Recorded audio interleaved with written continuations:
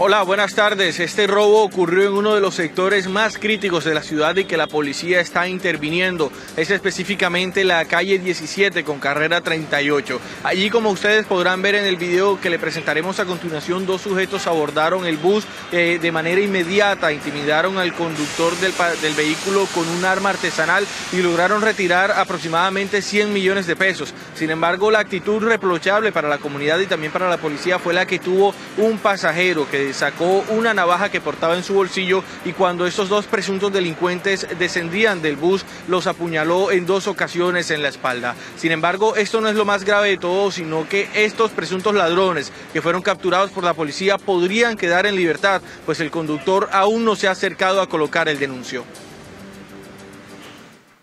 En un video de seguridad de un bus urbano en Barranquilla quedó registrado el inusual momento en el que en un acto de venganza un pasajero que acababa de presenciar un robo se levanta y le propina dos heridas con arma blanca a uno de los presuntos ladrones. El hecho es evidencia del descontento que se vive en Barranquilla y lo propensa que se ha tornado la comunidad para tomar justicia por manos propias. Pero ¿aprueban los curramberos esta conducta?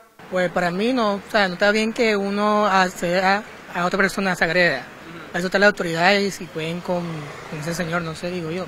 Creo que es muy drástico, pero tampoco tenemos derecho a tomar la justicia por las manos ya. Para eso están las autoridades.